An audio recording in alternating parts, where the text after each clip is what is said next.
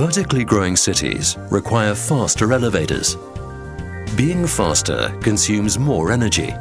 Schindler Drive technology successfully reduces energy consumption by means of clean and efficient energy regeneration.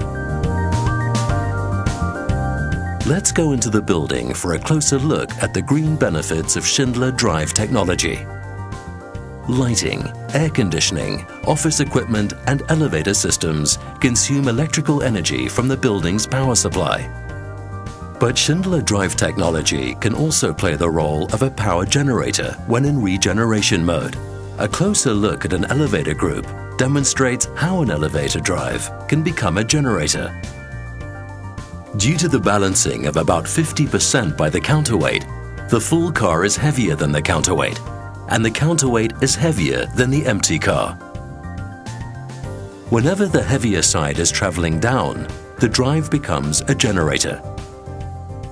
During the daily operation of the elevator group, there is always a mix of consumption mode and regeneration mode.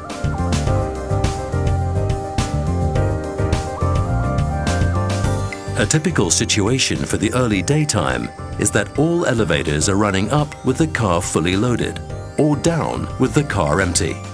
This means that all elevators are in consumption mode.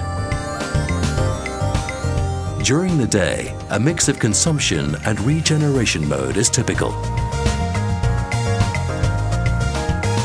The best case is when all of the elevators are regenerating energy this can happen during the evening rush hours when all of the cars are running down fully loaded or up with the car empty.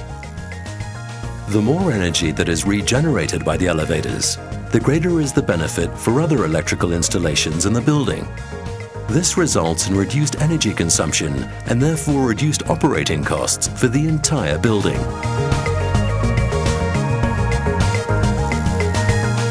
Schindler Drive Technology the leading green technology for the future.